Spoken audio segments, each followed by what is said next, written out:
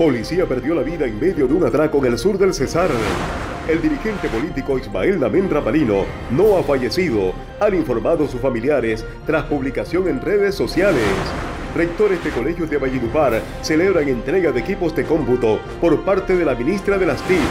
Jorge Oñate permanece hospitalizado tras ingresar hace tres días al Instituto Cardiovascular del Cesar. A raíz de su estado de salud, el jilguero de América sería trasladado hasta la ciudad de Barranquilla. Min Vivienda y Endupar realizaron inspección a obra de construcción del tanque de compensación de Valledupar. Corredor Férreo Chiriguaná-Santa Marta moviliza 35.5 millones de toneladas de carbón en 2020.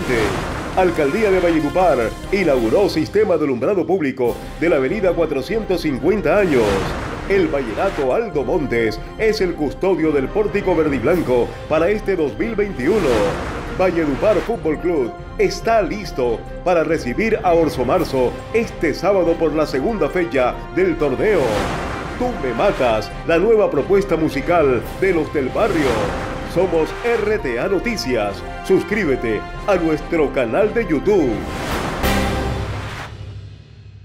Televidentes de RTA Noticias, ¿qué tal? Tengan todos muy buenas noches. Es un placer estar en este viernes informándolos a través de este canal. De inmediato vamos con las informaciones y tiene que ver con la muerte de un policía en carreteras del sur del departamento del Cesar. Esto se presentó en medio de un atraco.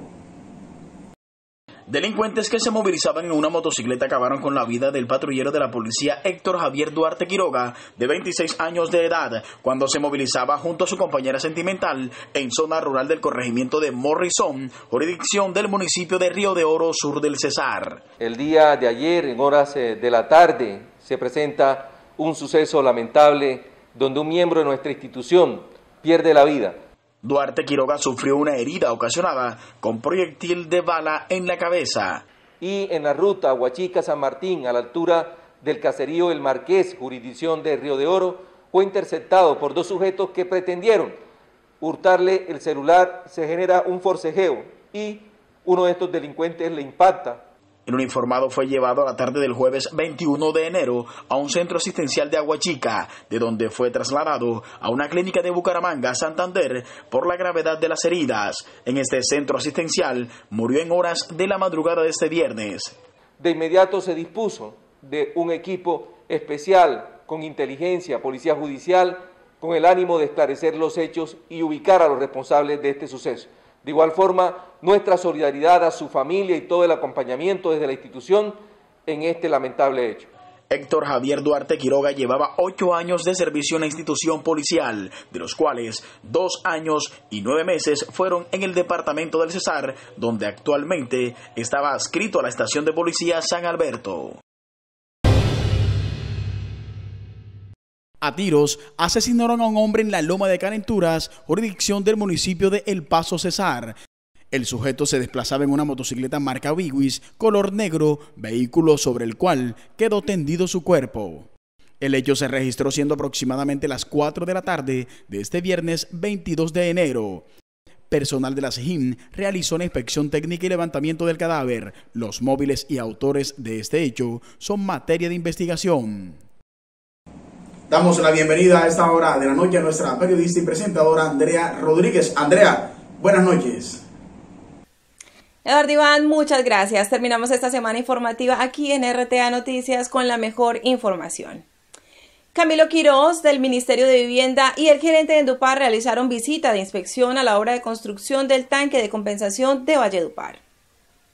Haciendo el recorrido que usualmente hemos venido realizando durante el último año, en donde encontramos ya un proyecto al 80% en su nivel de avance, eh, con un tiempo estimado de entrega de la obra civil, el 100% de la obra civil lo estaríamos entregando entre el 28 de febrero y el 15 de marzo. A partir de ahí vendrán todos eh, los procesos de prueba y de funcionamiento del tanque, pero aspiramos que eh, en los tiempos que teníamos inicialmente estipulados se entregue esta obra. Los impases están totalmente superados en un trabajo mancomunado entre la alcaldía municipal y el Ministerio de Vivienda. Eh, se consiguieron la servidumbre para la instalación de tubería que hacía falta y también ya se logró la importación de los accesorios y válvulas para el desagüe del tanque de almacenamiento. Superados estos impases, les reitero, tenemos la entrega final de la obra civil entre el 28 de febrero y el 15 de marzo del presente año. Bueno, hacemos acompañamiento al Ministerio, a FINDETER, a todos sus delegados, a fin de verificar las condiciones de avance de la obra. Celebramos eh, toda la voluntad que tienen estos funcionarios para que la comunidad vallenata pueda disfrutar de los beneficios de esta gran obra. Familiares del dirigente político cesarense Ismael Naméndez mienten su muerte. Los familiares del dirigente político Ismael Namén Rapalino salieron a desmentir las versiones que circulan desde la noche del jueves en redes sociales y grupos de mensajería instantánea, dando cuenta de su fallecimiento. Sandra Namén Rapalino, hermana de Ismael, dijo en su cuenta de Facebook que Isma sigue recuperándose satisfactoriamente. Agregó que para cortar con la cadena malintencionada, que se quedará con nosotros mucho tiempo, porque tiene permiso de Dios nuestro Señor para seguir viviendo. El Instituto Cardiovascular del Cesar dio a conocer un comunicado de prensa en el que informa sobre la salud del dirigente político. Allí se consigna que José Ismael Namén Rapalino se encuentra recluido en la unidad de cuidados intensivos con una afección respiratoria grave. Agrega la información que su condición en el momento es delicada pero con estabilidad de signos vitales. Las directivas del Instituto Cardiovascular del Cesar indican en el comunicado que desmienten la información que ha circulado en las redes sociales acerca de su fallecimiento. Sus familiares han pedido cadenas de oración por la pronta recuperación de Ismael Namén Rapalino. El cantante Jorge Oñate González continúa hospitalizado en el Instituto Cardiovascular del Cesar. Se analiza su posible traslado a otra ciudad del país. El jilguero de América Jorge Oñate González sigue hospitalizado en el Instituto Cardiovascular del Cesar en condición estable y con tratamiento médico. Así lo dijo a RTA Noticias su manager José Eduardo Mono Romero en diálogo telefónico. El estado actual del maestro es estable, sigue la infección como le emitimos hace dos días en el comunicado. Mono Romero aseguró que están esperando la evolución de tratamiento médico que se le aplica al artista desde la noche del jueves para determinar si sigue en Valledupar o es trasladado a otra ciudad. Estamos esperando los resultados del tratamiento que le empezaron a aplicar desde anoche. Eh, a ver si contemplamos la posibilidad de trasladarlo hacia Barranquilla o a otra ciudad. Estamos en eso, pero ya son los médicos los que deciden. Pero en general el maestro está aún estable, gracias a Dios. El representante del cantante dijo que Oñate no está en UCI y tampoco ha sido trasladado a Barranquilla, como ha circulado en redes sociales.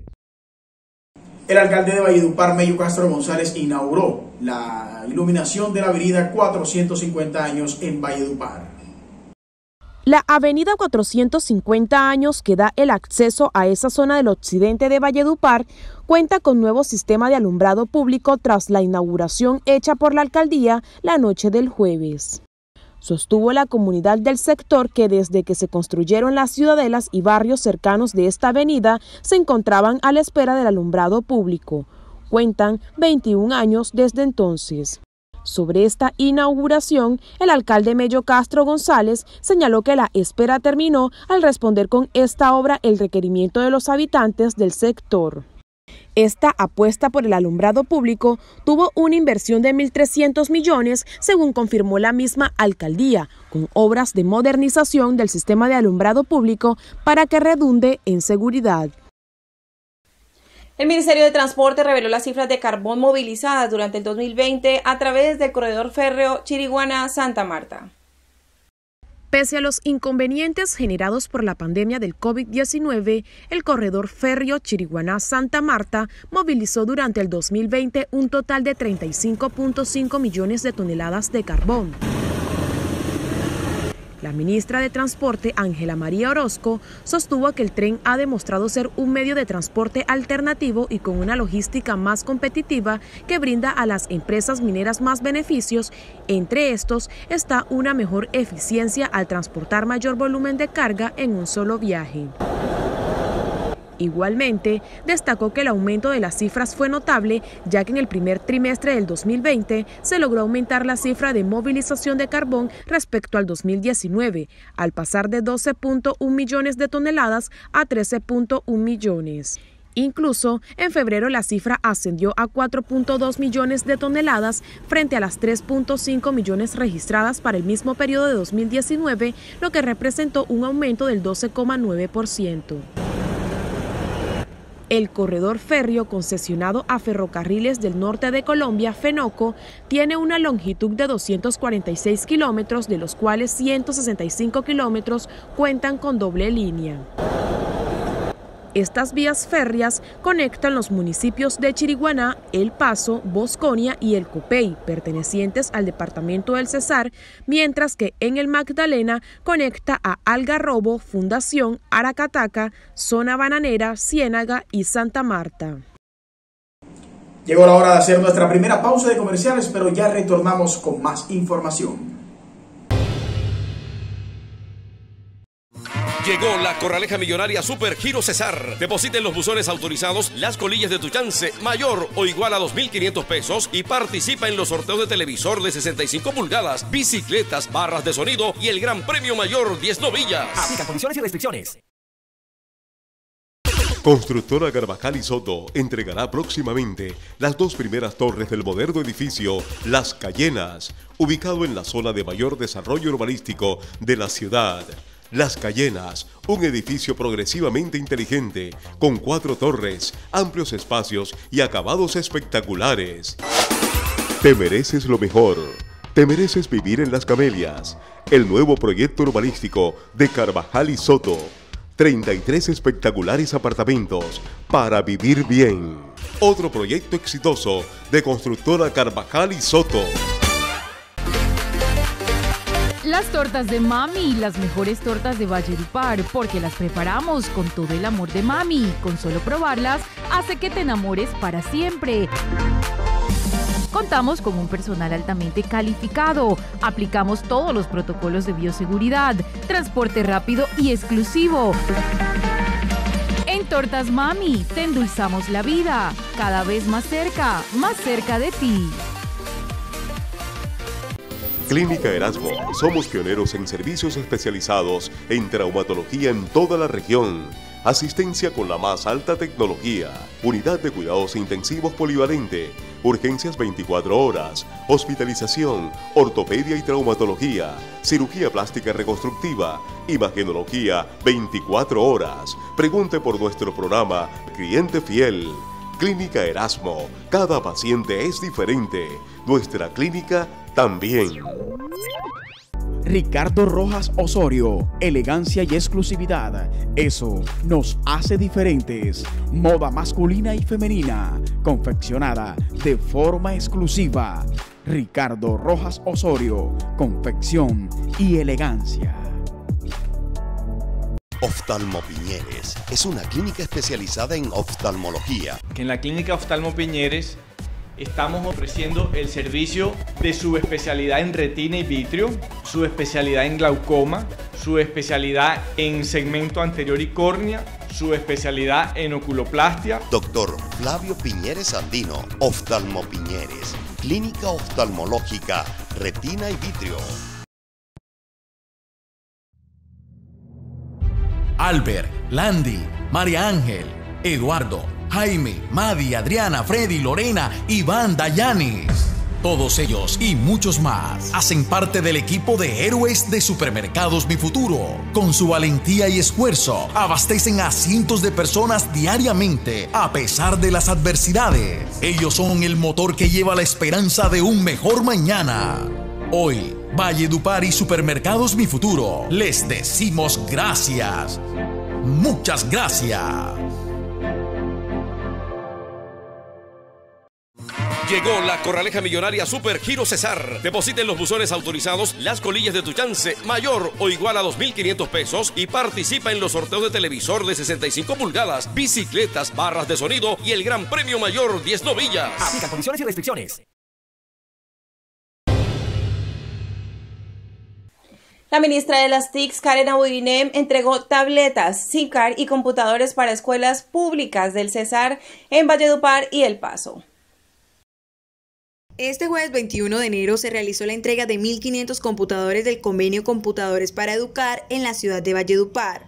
Además, 1.200 tabletas y 2.500 SIM card, sumando una inversión de 800 millones de pesos, con la cual se busca fortalecer los procesos académicos entre los docentes y estudiantes este año. 8.000 hogares. Son 8.000 hogares de estrato 1 y 2 que tienen internet subsidiado por parte del gobierno nacional, así como también tenemos que decirle ocho zonas digitales aquí en Valledupar que también ya tienen conectividad y que toda la población la puede utilizar de manera gratuita. En el evento de entrega hizo presencia la ministra de las TIC, Karen Abudinen, el alcalde de Valledupar, Mello Castro, el secretario de Educación, Iván Bolaños Baute, senadores, concejales, rectores y estudiantes que representaron a la institución educativa Bello Horizonte, colegio donde se formalizó la entrega simbólica de los equipos tecnológicos.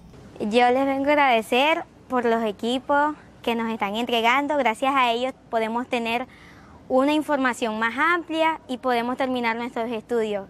Ya que por este medio, con estos computadores, los estudiantes en este momento de pandemia van a tener acceso a la conectividad.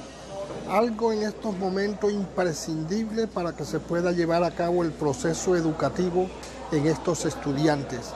Ahora 51 colegios de Valledupar cuentan con conectividad por 11 años y la entrega de las 2.500 SIM busca complementar la comunicación en el desarrollo de las clases. Para nuestra institución es muy importante este tipo de aportes en tecnología, en dotación de computadores, ya que al ser una institución rural pues es una de nuestras grandes debilidades y confiamos y consideramos que van a ser de gran aporte para la formación de los estudiantes en estos tiempos de pandemia.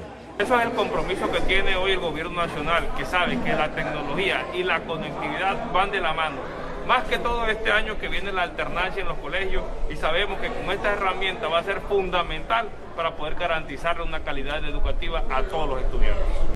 El alcalde Mello Castro explicó que en total son 2.600 computadores que serán entregados al departamento del Cesar. Los equipos faltantes se recibirán en el segundo semestre de este año. Además, la ministra promete duplicar el número de SIM card entregadas en esta ocasión. Margarita Eguis para RTA Noticias.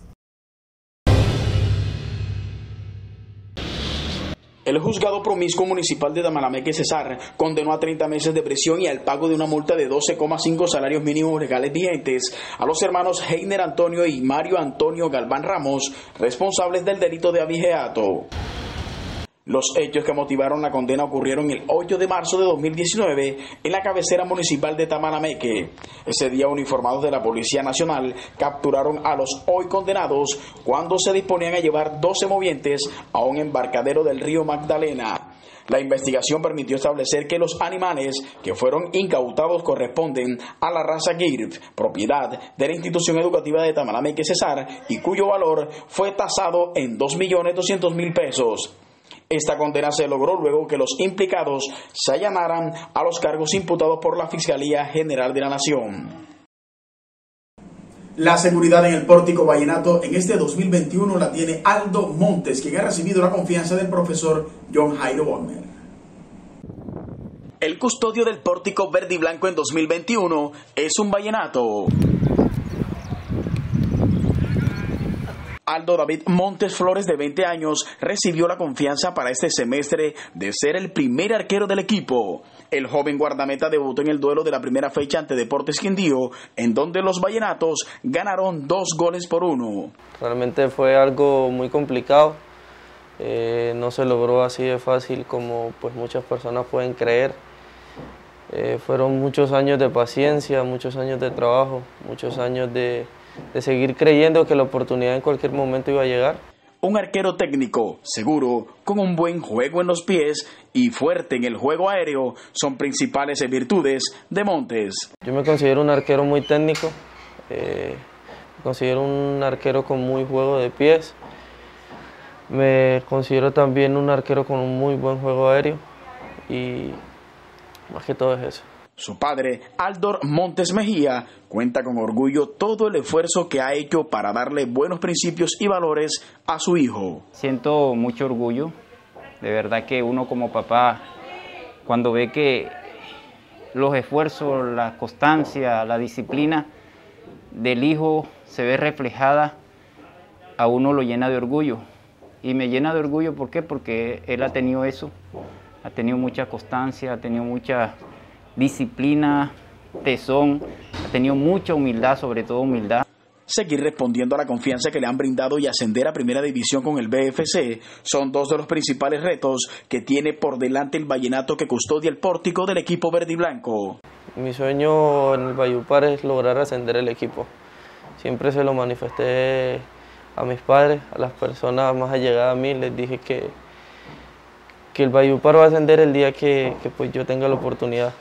Y confío en Dios, confío en las metas que tenemos todos nuestros compañeros, eh, con mi persona, que vamos a lograr esos objetivos. Aldo Montes, quien alterna su carrera deportiva con sus estudios de administración de empresas, admira y tiene como referentes en su posición a Iker Casillas y a José Fernando Cuadrado.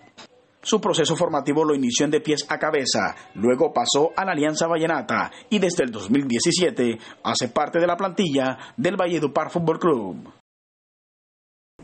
Valledupar Fútbol Club en busca de su segunda victoria en el torneo de ascenso recibirá este sábado en el Estadio Armando Maestre de Paballón a Oroso Marzo. Un renovado Valledupar Fútbol Club que debutó con triunfo ante Deportes Quindío en calidad de visitante recibirá este sábado a Oroso Marzo en la segunda fecha del torneo Betplay.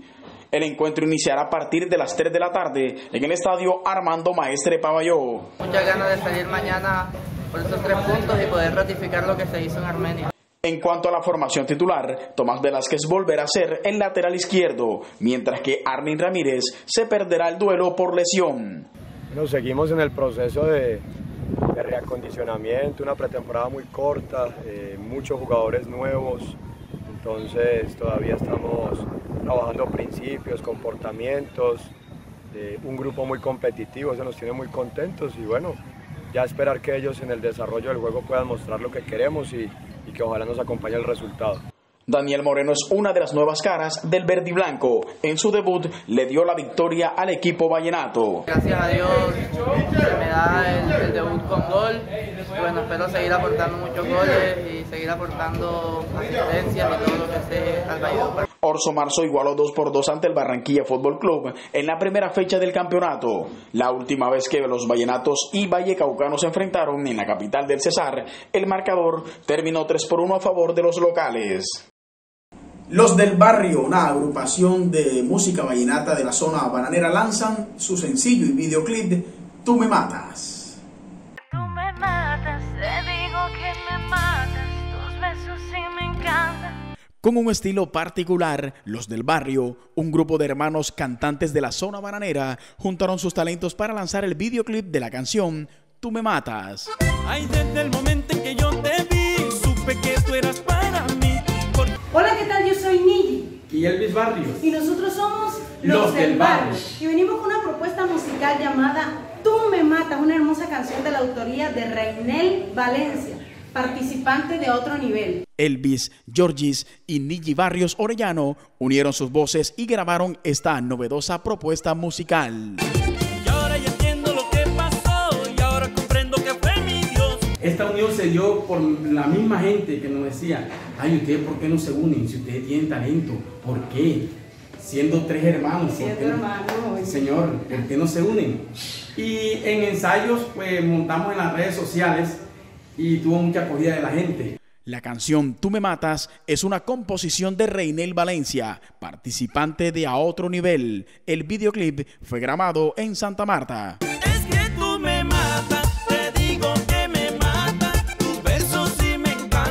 Y desde ese momento nos unimos los tres hermanos que somos los del barrio. La unión de los del barrio nació gracias al cariño de la gente. Ahora estos talentosos artistas esperan el respaldo de todos sus seguidores. El video de Tú me matas está disponible desde este jueves 21 de enero en YouTube. Que tú me matas, te digo que me matas, tus besos sí me encantan, tu cuerpo me enloquece a mí. Que tú me matas,